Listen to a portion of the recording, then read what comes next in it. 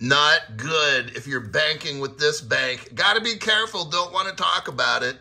that bank suffers a data breach. About half a million people. Uh oh. Check it out. The bug, it's they called it a bug.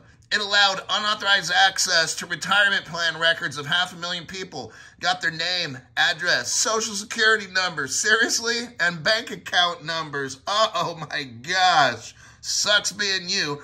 JP Morgan says it fixed the, oh, I said the name.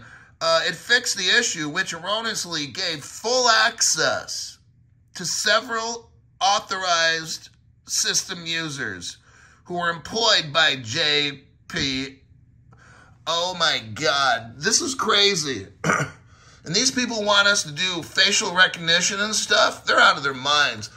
my name's Crypto Hulk.